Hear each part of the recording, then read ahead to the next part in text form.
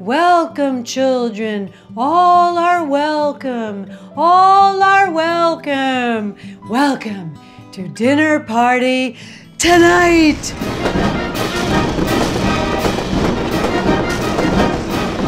We are shooting a few days before Memorial Day. Please remember that Memorial Day is not just a barbecue. I know you guys know this, but it is Memorial Day for a reason. We're having some construction, as you may or may not be able to see. My entire house is covered in protection.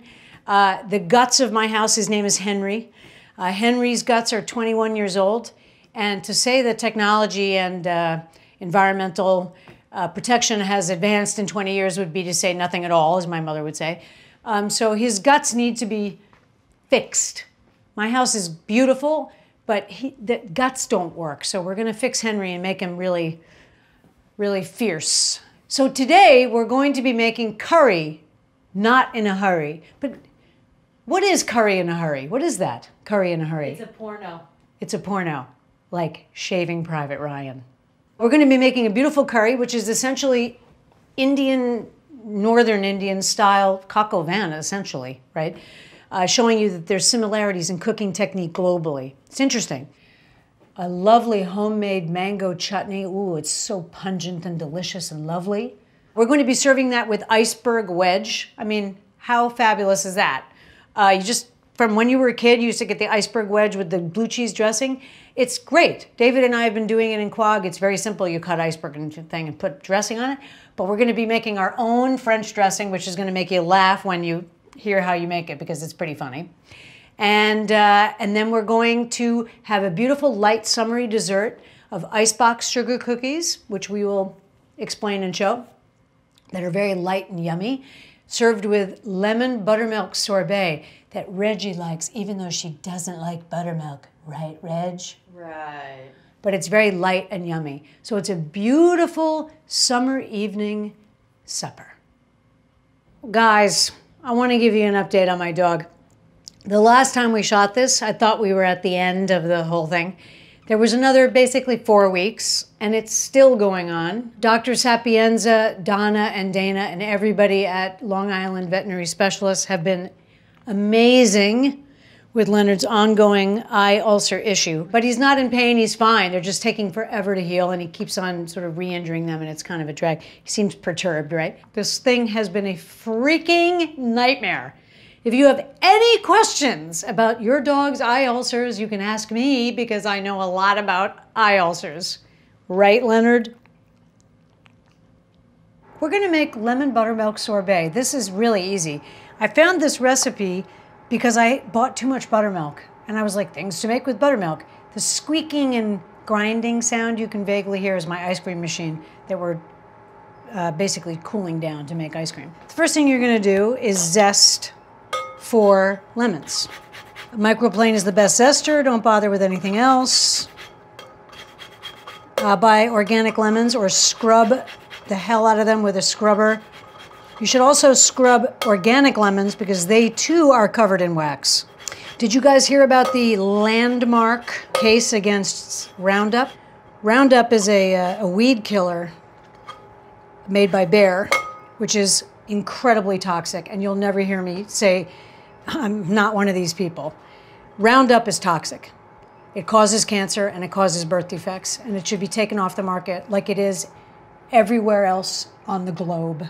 A family won a multi billion dollar settlement from Bayer for cancer in their family caused by Roundup. It's the beginning of the end of that kind of product. Keep these lemons, obviously. You're, gonna, you're also going to use the, um, the juice. What is the difference between ice cream, sorbet, and sherbet? Ice cream has cream in it.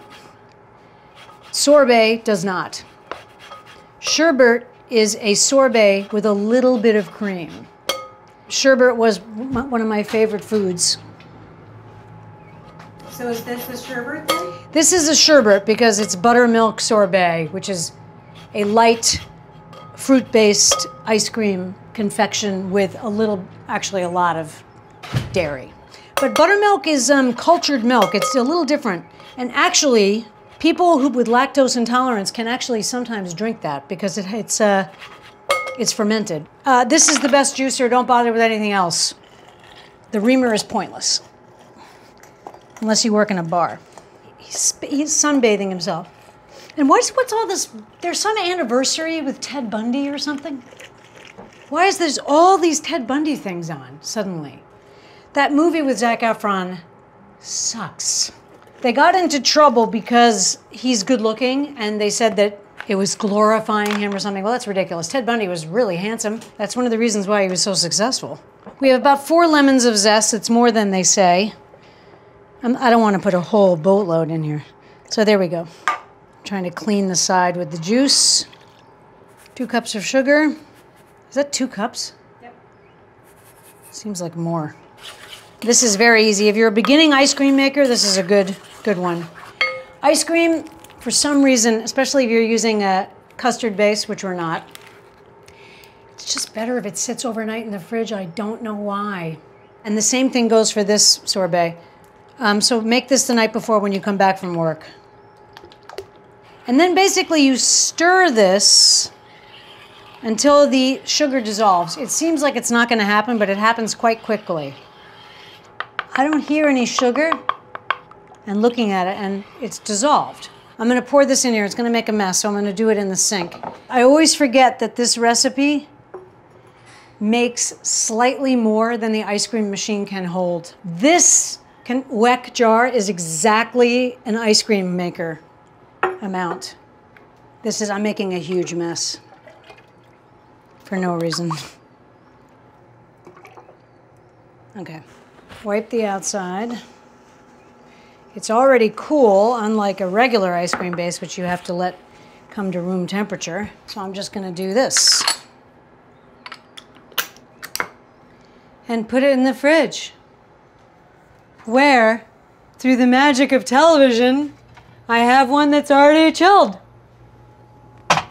Now we're gonna churn this. Um, in kitchen equipment, which you can look up on our YouTube page, I recommended this particular ice cream maker, which I'm now going to unmuffle. This is the Cuisinart, the good one. Always remember to chill it before you use it. So I'm going to pause it. The bowl has ice on it, which is good.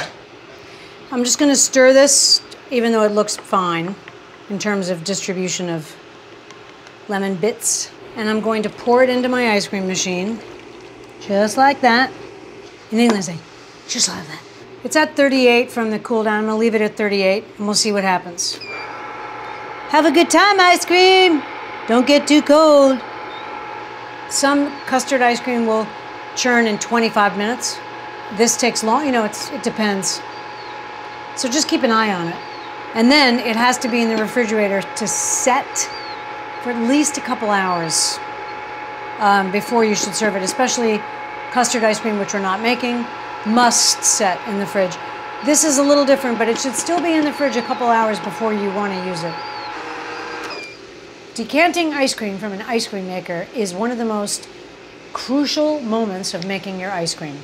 Getting it off of this and into the container and into the freezer is very, very critical. The longer it melts, the more crystals you're going to get. So you want to chill, freeze your container and make sure this is really cold, all right? So here we go.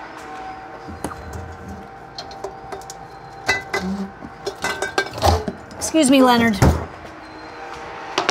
I'm talking about it's got to be fast. Like this. It's very soft. Don't worry about that. It'll, it'll firm up in the fridge. Sometimes I have two people doing this with me. Critical. Okay, now make it look nice. I made stracciatella ice cream for the Cherry Blossom Festival. That was some good ice cream. Right, Reg? Yep. Ta-da! The ice cream should set up in the fridge. Uh, you know, it depends on the ice cream. Some ice cream sets up faster. You don't want to serve soft serve at least two hours. I usually churn in the morning of a dinner party. It's usually my first thing on my worksheet. Churn, exclamation point, that I've written in pencil. Like my fabulous great British Bake Off pencils that Toby gave me, and they say things like soggy bottom and star baker and Hollywood handshake and flavors gorgeous. Thanks, Toby! Let's make icebox cookies. The icebox cookies rock, and the reason they rock is because you can make the dough, frankly, weeks in advance. You can freeze it or you can leave it in your fridge. Most recipes say three days, but the truth is you can leave it over a week in the fridge. It's, it's nothing's gonna happen to it. And then you simply slice off the amount of cookies that you would like. A while ago, we did chocolate icebox cookies, but now we're gonna do uh, sugar cookies, which are everybody loves, that happen to be my favorite cookie. Besides Mexican wedding cookies, I love those. So we're gonna make vanilla icebox cookies. You're going to need two cups of flour, a teaspoon of baking powder, an egg from a chicken, uh, 10 uh, tablespoons of butter, which is inconveniently in between two and one and a half sticks, a cup of sugar, some vanilla, a mixer, a spatula, and a lot of heart. Last night, when I was prepping for the show, I had forgotten to make the, the cookies. I wrote Lynn, and I said, oh, I made some, some prep stuff. And then she goes, sugar cookies? And I was like, oh, damn. And then I made them quickly. And I'd forgotten again to bring the butter. I didn't have butter out because I forgot to make the cookies. So here's what you do. Don't put it in the microwave. That's cooking it, okay? Put it down your trousers. Put it in your back pocket and sit on it while you watch, you know, the Dateline from Friday, which was actually a pretty good Dateline. Or you put it in your front pocket or in your brassiere or put it next to your body. Within 20 minutes, it's basically room temperature at a nice pace, you know. Then if you put it in the mixer, when it's still a little bit above room temperature, the mixer will sort of bring it to um, a mixable state. My advice to you is always have a thing of butter out because you never know when it's going to strike you to make something and you don't want to put it down your trousers, especially if the boy or girl is there. So first of all, we are going to start with 10 tablespoons of butter from a cow. And you know, dairy cows have a rough life. So a lot of people don't think about that, but they, they do. So one, two, three, four, five, six, seven, eight, nine, ten. Boop. Butter. I'm gonna let this go a little bit. Oh, it wasn't attached. I'm gonna make it go a little higher. Gonna take you higher. The Bee Gees, man. Here's a question for you. Did Barry Gibb write a bad song? Name one bad song that the Bee Gees wrote. That guy is a freaking genius. And it's so sad that he's alone now, that they're all gone. My dad used to be friends with Robert Stigwood, who was their producer. I'll tell you a story about that another day. That was a pretty funny story, but I'll tell you later. I'm gonna put the sugar in and we're gonna briefly talk again about combining. I guarantee you that combining is twice as long as you think it is, okay? You want it to change color and be light and for some of the but, uh, sugar to be in incorporated, okay? So I'm just gonna dump this in. I'm gonna turn it up a little bit. Let me tell you, it's gonna be a landmark case, that Sackler uh, pharmaceutical case for OxyContin. Wow, what a scourge. I mean, I have to say, they didn't, they lied about whether it was addictive, but if you're a doctor prescribing an opiate, don't you, isn't it sort of implied that it's addictive? Even if, um, even if they lied about how addictive it was. I think the doctors are in there somewhere too. I think we all have somebody clo close to us who's been touched by that. I certainly do. It's called real-time cooking. See how it's getting lighter in color, I mean? Okay, so that's this is incorporated. I'm gonna add an egg. I'm gonna pick a larger egg. Now you're you're telling me that you can't do this. Incorporate. Now remember, until you put flour in, you can beat the living shit out of, it. sorry, you can mix the living hell out of it. And the lighter and more incorporated it is, the better. When you put the flour in is when you can't beat the hell out of it because you will um, break the, you'll mess up the gluten strand. and you'll have a disaster, which is a fully cooked cake that's gummy. That's the mistake, okay, if that ever happens to you. So I'm gonna scrape down the sides. Oh, we forgot to preheat the oven. When I made these last night, I think Lynn was concerned because I was drinking wine at the theater. But I did it, Lynn. Yay. Lynn is in the new play. Brilliant, brilliant performance. It's a revival of a play we've done before, which is kind of interesting for all of us, I think, right, Lenny? Yeah, very. It's very weird. This is uh, our favorite vanilla paste. I don't know how much. I think the recipe is on Chowhound or something. Just put vanilla in it. It's vanilla cookies. I'm gonna put a boatload of salt in here. It's a teaspoon of baking powder. And you don't have to go through this whole sifting thing. Use a fork or just do this. I'm gonna turn this off and I'm gonna scrape down the sides. So this you can do while you're watching TV. This takes really no skill. If you guys watch RuPaul, you should watch RuPaul. Michelle Visage, that's all I have to say. Hair, nails, makeup, whatever. She can do no wrong. And now we're gonna add the flour. You can do it all at once if you want. I would do it like this. You don't wanna overbeat this. Because now there's gluten involved. Oh my God, gluten! Ah! All right, I'm making a dough, which is looks good to me. Here comes the fun part. This is just gonna be a mess. Sorry, Ashton. Ashton is our PA. He's awesome, Ashton. Now you're gonna do this. My hands are clean, obviously. So take a handful of dough, and you're gonna roughly shape it into a, a tube. Then you're gonna set it down. You're gonna take this and you're gonna fold it over, but don't tuck it, said the actress to the bishop. Then what you're gonna do basically is make this into a, a log. Now remember, in the fridge, it's going to firm up drastically. So you're, you're making a log. Okay, here we go. Boom, tubular. Uh, you're gonna put these misshapen logs, which we will then fix, into the fridge. I'm gonna prop them up like this. And prop them up next to something cold, like a can or something, you know what I mean? Like some other cold thing to hold it up.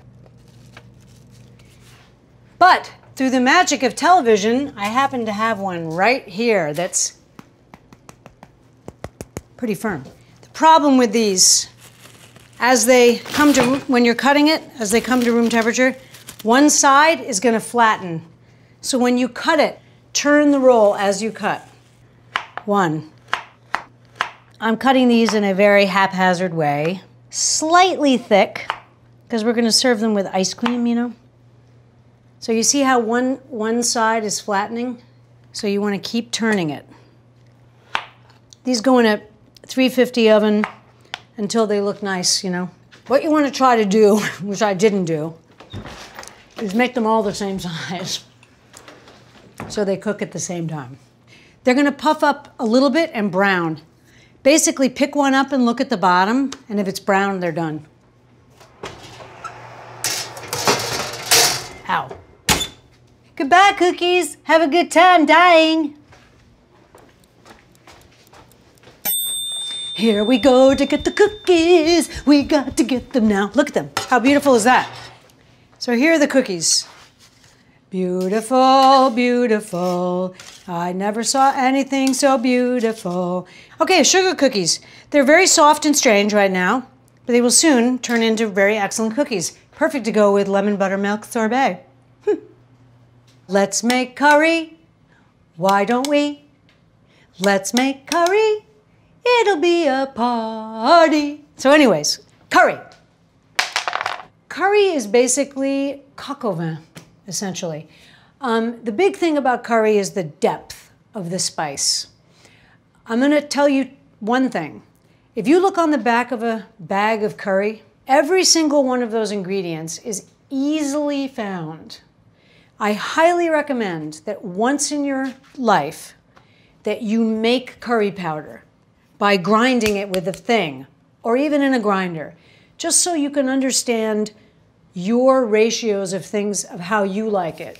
India has a is a huge country with very different styles of cooking. We're going to make sort of a crowd pleaser curry, which is moderately hot in the sort of northern style.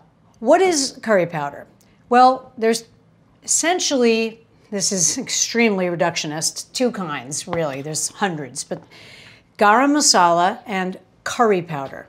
The difference is this has turmeric in it, which you can clearly see. It's orange, right?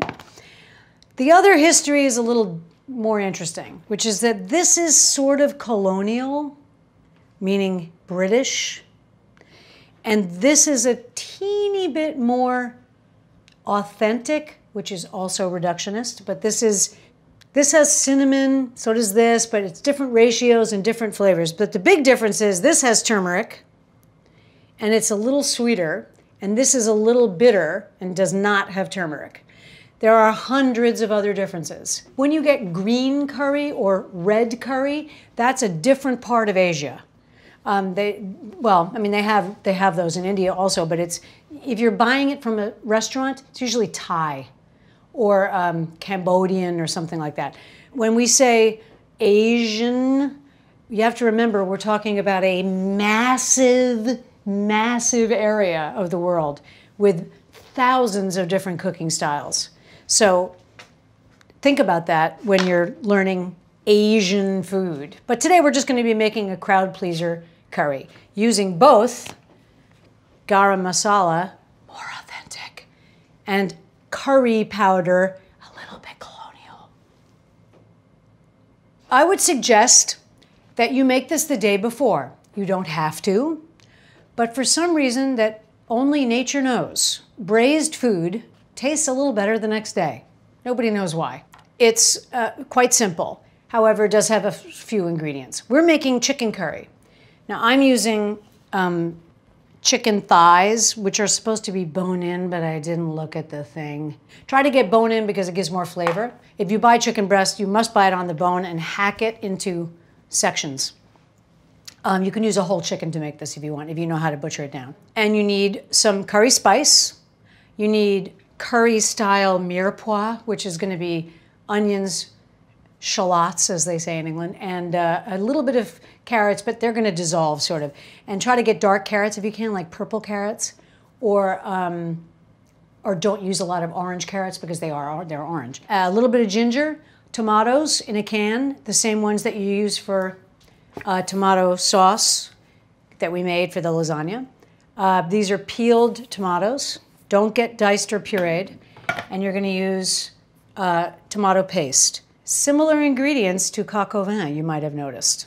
So we're gonna make chicken thighs, as I said. The first thing you're gonna do basically is season your chicken. And you wanna think of this as almost it has a soul. So get some salt and pepper. So you wanna be liberal in more ways than one, but not too liberal, okay? I'm gonna pepper this. Kind of turn them upside down. So finally, the USDA has come out with the recommendation that Americans not to rinse their chicken, which is the dumbest thing you can do because it in fact spreads pathogen all over your kitchen if the chicken has a pathogen, which is unlikely if you're buying pastured chicken. But anyway, liberal, most of it's going to fall off, but it you know, it's just it makes it good, okay? I am now going to brown the meat outside where it doesn't make a mess. As with any braise, this is the only color your meat's gonna get. So you wanna make it have a nice color. You, you don't really need to do it, but it just, I don't know, it brings a weird depth of flavor. Before we do anything else, we have to send out a huge congratulations to Rita Sodi and Jody Williams for winning James Beard Best Restaurant for Via Carota. Yeah! Woo! Uh, unfortunately, their outrageous fame has made it practically impossible to go in there. I go at 10 o'clock when they open, or like 5:10 before the cocktail rush. It is heaven on earth. So we're going to peel some some ginger. You want to take off the skin. You can do this with a peeler too, but you want to take off the skin. You may not have noticed that I, I have an eighth size sheet pan. It's for mise en place. I also have this thing called a J cloth because I watch MasterChef Profe- The Professionals UK, the best cooking show on television. So, Monica Galetti, I might be the only American with a J cloth in an eighth sheet pan. Uh, they're very handy, and they also drain beautifully. A little better than paper towels, and they don't shred. Uh, eighth she- eighth uh, sheet pan, so convenient. You have your main ingredients on the quarter, seasonings. I mean, it's just, and then you can walk to the grill, or it, it's mise en place is important. I'm going to grate some garlic, and I'm actually going to put it in here with our essentially with our mirepoix. This is onions and uh, shallots. The other mistake that people make is that they put raw spice in their food. This is raw, just like that's raw, okay? You have to toast off or cook off the spices. This is a very common error. If I stuck my finger in here, it would not taste like curry. It would taste like a very intense, bitter spice mix. So, you know how you toast off um, nuts and stuff like that? It's the same thing. This you can add um, more of later. You have to toast, cook it off, but this you, if you want more gingery taste, you can add it. Ginger is almost like a, like a citrus hot. Taste things, you know what I mean? Experiment. If you don't like it, throw it out, as my dad would say whenever he gave me a present. And Paul always goes, it cost a fortune. They're not dissimilar, actually, Paul and Daddy. Okay, a little bit of ginger. And now we're going to start building the soul of our braise or curry. Without the soul, it's beef stew. With the soul, it's beef bourguignon. It has a, a like a soul to it. I don't know how to describe it. Depth of flavor is the fancy expression for it. But it's um, you create that, and it doesn't happen in 30 minutes which is why it always blows my mind when people do coq au vin or something in these cooking challenges. I'm like, what are you nuts? It doesn't work in a pressure cooker. Newsflash. You can't make it in a pressure cooker or an instant pot. The first thing we're going to do is Hot pan, olive oil. that's right. My olive oil, just a covering the bottom.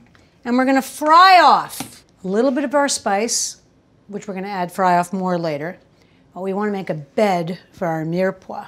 How much spice do you put in? Listen, man, I can't tell you. I don't know. I'm going to start by frying this off.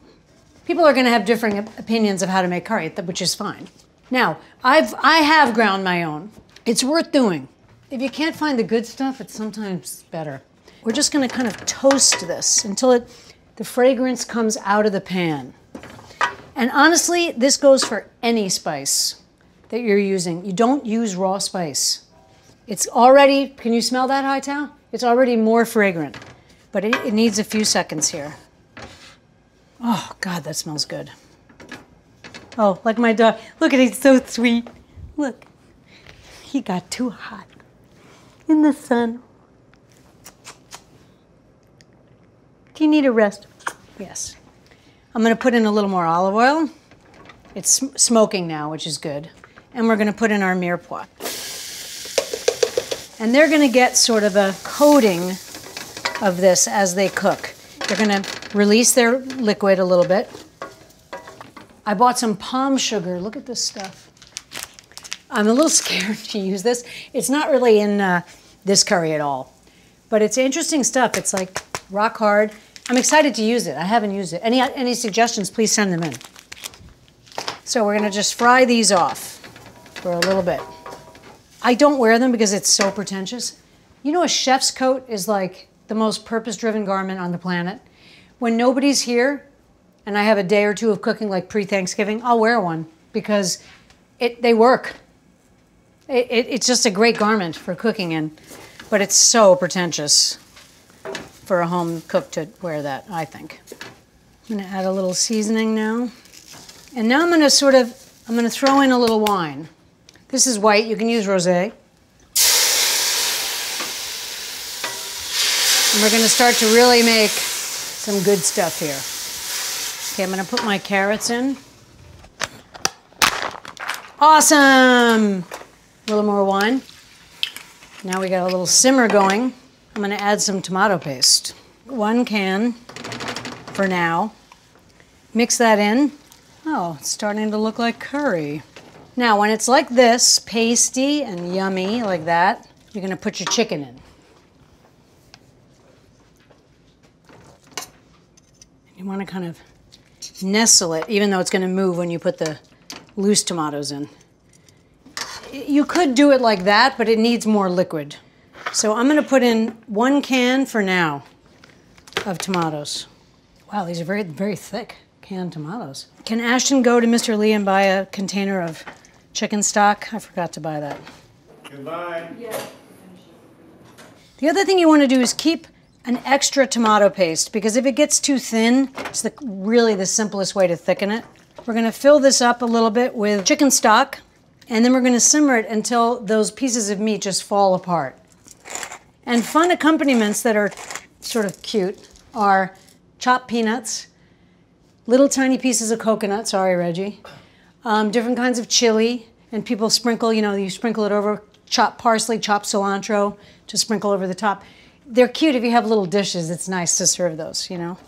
Uh, and then there's raita, which is plain yogurt with a little bit of uh, cucumber and mint, but there's a liquidy thing in there, lemon juice. And that's a lovely cooling sort of yumminess that you eat with curry. I love curry. When Ashton comes back, what we're gonna do is bring this up to a boil and then take it down to a simmer, to a braise. Now what is that? We've discussed this before.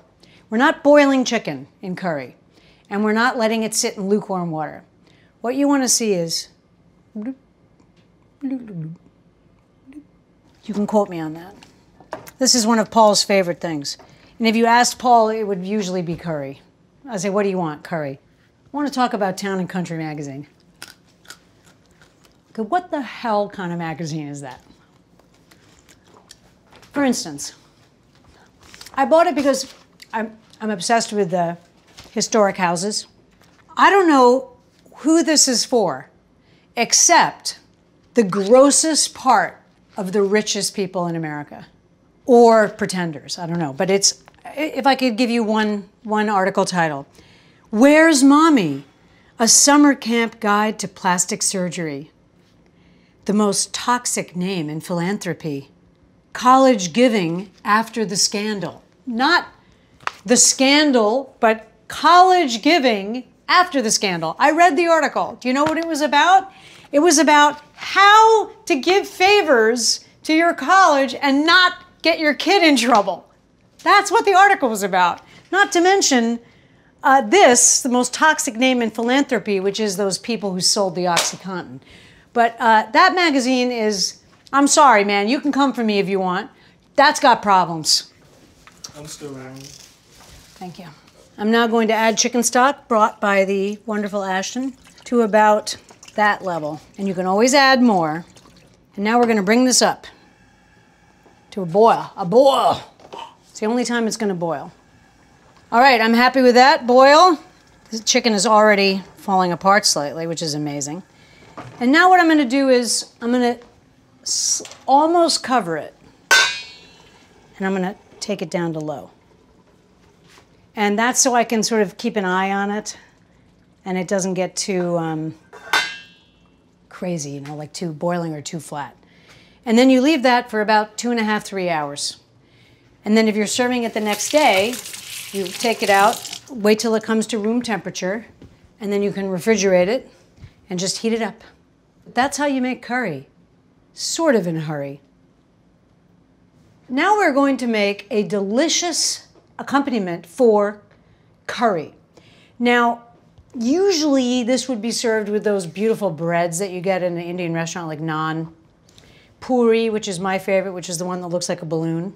I like it just on the side of the curry, and I will eat it in plain rice the next day, just curry, just rice and uh, chutney. So let's make chutney from the beginning. Now we did make a chutney 40,000 years ago when we made the pork dinner, and that had accompaniments that were good for pork, and it was very sort of um, fall-like, and it had dried, I think it had plums or dried figs or whatever. This is more suited for curry, and contains mango. I'm just checking our dishes here quickly. Oh, this is, that's just wrong. So I'm, I'm serving that sort of fragrant rice that we made with the soy braised uh, short ribs. It's just a fluffier rice with a little star anise and cumin and, you know, stuff like that. I went to see heavyweight boxing at Barclays Center. I had amazing seats. I sort of bought the seats because of this, in a way, because of just this really 10 week thing with my dog. I was like, I'm just going to buy these tickets. And it was fabulous. We saw Deontay Wilder knock out Dominic Breazeale in two minutes and 17 seconds. A lot, a lot of money went swirling out that exit, but it was such a fun night. I had such a blast with John and Coop and Michael. We just had an incredible experience, and they were total gentlemen the entire night. It was awesome. 50% of the people were black tie, not just dressed up. I mean, like the women were in gowns, sparkling gowns. It was amazing. And we, we, we their boys wore suits. They looked, I mean, it was amazing. We had, well, the idea was to go like Jack and Anjelica to the Ali fight in the, at the garden. Everybody's like super chic, amazing. So, anyways, I'm just gonna chop this. Um, these are shallots, big ones I'm cutting in half. You guys know all this because you're dinner partiers. I'm putting a lot of onion. David Zeffren, my lighting designer, the great genius of Axis, who used to light boxing, but now he does other work, lit that fight. So if I had known that David Zeffren was at Barclays, chances are pretty high that I could have gotten a laminate. Can you believe that? I could have gone backstage with Zeffren. Let's start that up. So what are we going to do with this, Lynn? Lynn was drinking water. Should we try again? what are we going to do with this, Lynn? Hot pan olive oil. There you go. Oh, it's nice and hot. Little olive oil in the bottom. See, it's already sheeting, really. Oh, did you guys know about my eighth size sheet trays? Oops, it didn't make a sizzle. Oh, that's too bad. It was less hot than I thought. Okay, we're going to cook those down. And while we're doing that, we're going to peel these mangoes and this apfel. So you're going to cut it all the way around like this. Yes, it's scary. And then you're just going to kind of get rid of the skin. It's not that easy.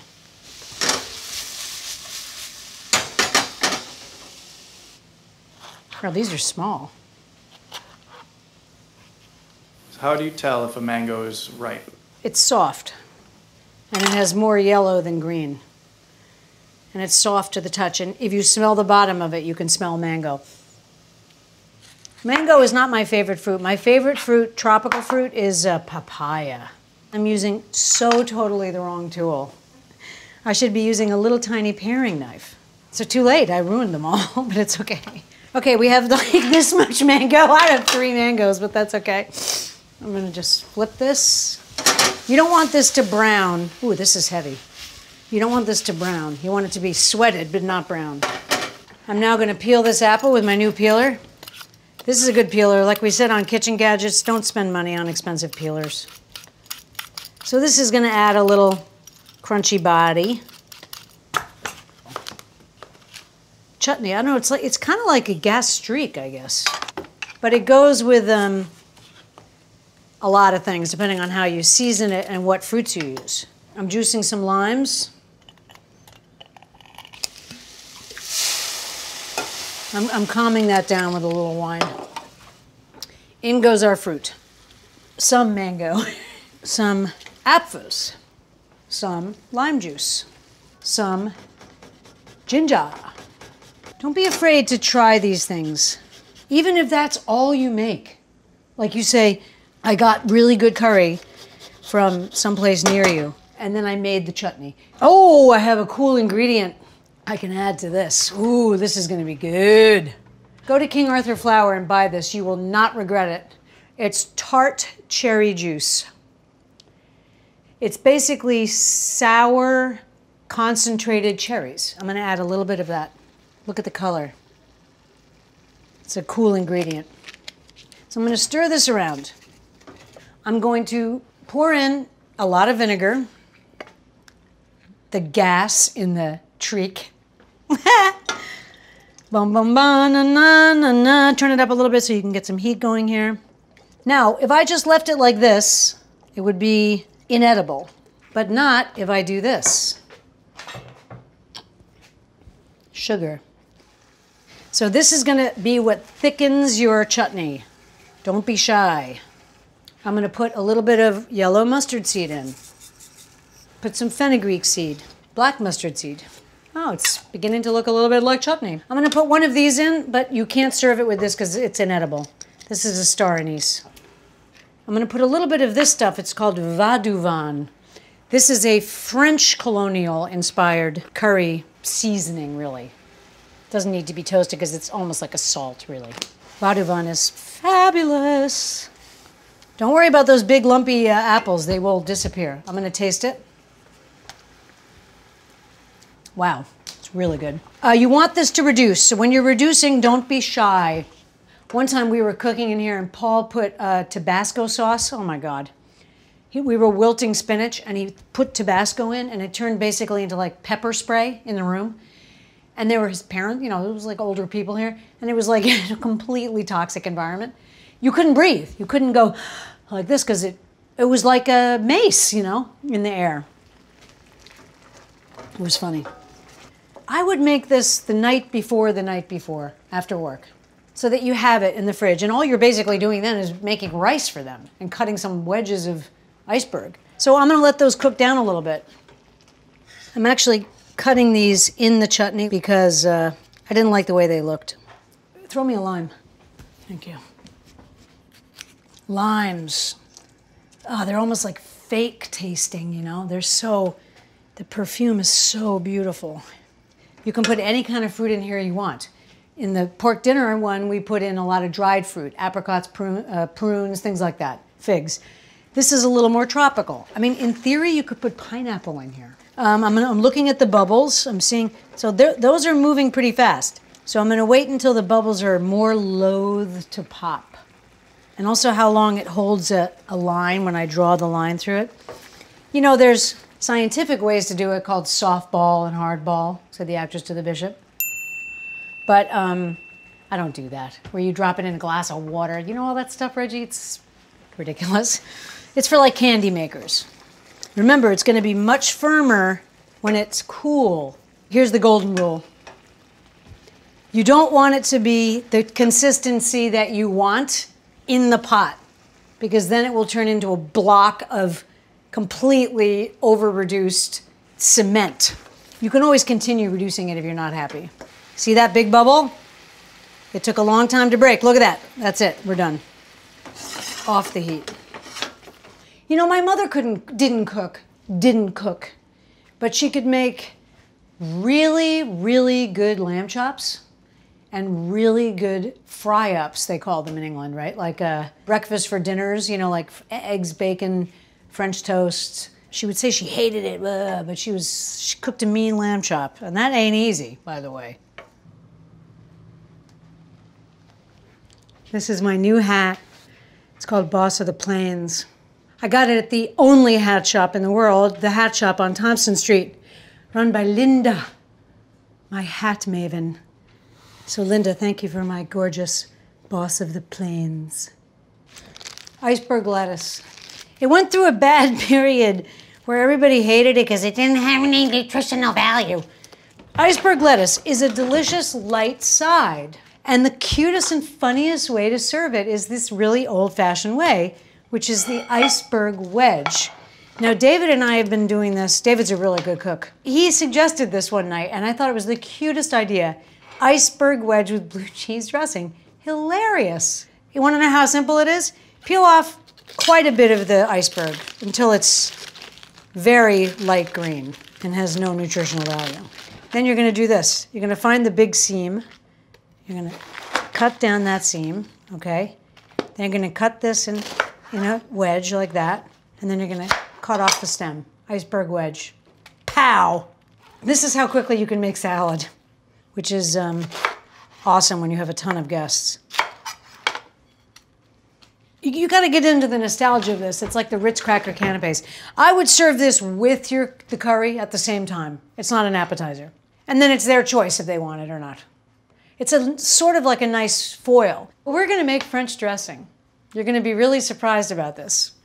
What is French dressing? You want me to tell it to you straight? It's a vinaigrette with ketchup in it. Period. Literally, make a vinaigrette. Two parts oil to one part vinaigrette. A little bit of salt, un peu de poivre, a little bit of pepper.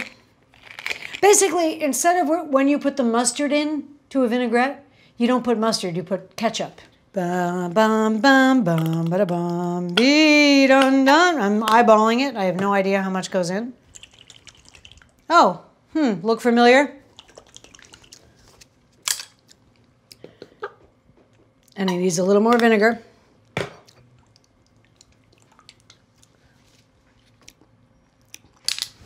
French dressing. Essentially, dress that right before your guests uh, are going to eat it so it doesn't get soggy. You can put a wet paper towel over this if you feel like cutting it two hours or so before they get there. Uh, and it'll keep just fine in the, in the refrigerator. And then right before you serve it, you just do a little drizzle and leave this out in case they're French dressing freaks and they want more. Wow, this is really good French dressing. I made it. Come on. And also the um, ketchup emulsifies it a little bit. I have one question for the science world. I buy those chopped salads in the bags, okay? How do they keep the salad dressing emulsified in that bag? Why doesn't it separate? Iceberg wedge with French dressing. Yum, America, my home. Joe! Come on, Joe. Come on in and say hi to your fans. Joe Rome, my dog walker. Yay! Hello. He's a featured guest on Dinner Party tonight. Um, Leonard had a small relapse this morning, but he's doing very well. I thought this was the recovery episode. I know, I know. But he looks pretty good now. He's going to be very stubborn on the way out and very swift on the way home, Joe. take the cone off? Uh, yes, you may walk him without the cone. Thank you, Joe. Bye. Bye. The thing you want to keep in mind is your salad. So the salad should be cold because the curry, the curry, the curry is, um, it is summery in a weird way, but it's you know it's a meal, so you need sort of cool salad and raita and cool things and rice and stuff like that. Um, so I would bring out your salad with your homemade French dressing at service.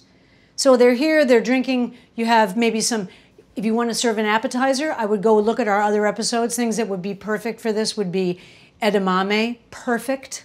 Pickled shrimp, which we got a lot of people complaining about that it's not really pickled shrimp. And you know what? You're totally right.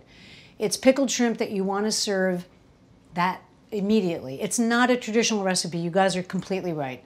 It's, it's pickled shrimp is essentially shrimp ceviche, which is not what I made, which I accept that would be a good appetizer. Um, the little lobster cups that we made, or shrimp cocktail, but you want to keep it pretty light. So those are some suggestions for appetizers. After they've had a few drinks, they've, you know, they've had a beer or whatever. For instance, Kingfisher Lager, it's very excellent beer, goes well with Indian food. I love Kingfisher beer. You can't find it over here, or I haven't been able to find it. Uh, after they've had a few drinks, everybody's relaxed. You're ready to go. Your curry that you made the night before is just heating. Uh, your chutney that you made either that morning or the night before or the night before the night before is cool, cold really. Your rice is cooked. You're ready to serve. You say, hey guys, we're going to serve. And you put out your trays. Then you take your wedges out of the refrigerator, dress them lightly, and leave the dressing for people who want more dressing. And frankly, after that, if they complain over their lemon buttermilk sorbet with sugar cookies, you should probably get rid of those friends. We made a gorgeous curry dinner for you and your friends. I mean, it's a huge pot. We do have a fairly large crew, but we made a lot. This is something that you can eat certainly three nights. You're not going to want to eat curry for six nights. So when you make it, don't eat, don't make enough that it's an insane amount of curry and nobody wants curry for a year. But it's really delicious and it's something that you can serve and your friends will adore it. So one thing that you may you'll notice, I don't know if you can see that, but it became silken. And that's simply from the act of sitting in itself. Like it's like I like I say, it's like if you make chicken and you put it in a stew and you cook it and it goes, I'm chicken and stuff. And then if you make a braise, it goes, I'm chicken and stuff. See how the meat is shredded? It's falling apart. Those huge pieces of meat that we had, geez Louise. So give them uh, a little bit of rice. Don't serve the star anise to anybody, okay? You wanna give them a nice piece of meat, and I would just lay it alongside like this. Did I ever tell you guys about that curry I had on the, the plane going to England with Madeline? Holy cow!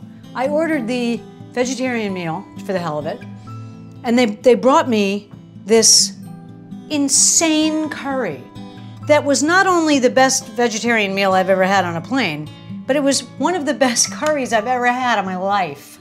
And I'm not kidding.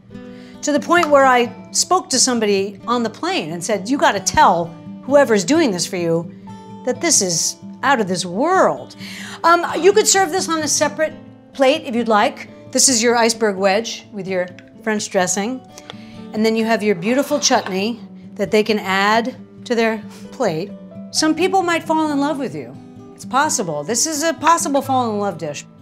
Today we made a beautiful chicken curry with deep, deep soul, chicken thighs, onions, beautiful spices, simmered for hours, accompanied by a beautiful mango, apple, and cherry chutney, a sort of piquant condiment. We made iceberg wedge lettuce with homemade French dressing, which is hilarious, of course. And then for dessert, a super fresh lemon buttermilk sorbet, absolutely delicious, with sugar cookies sliced from the icebox. What a dinner. What a night. Wow, that's a nice combo.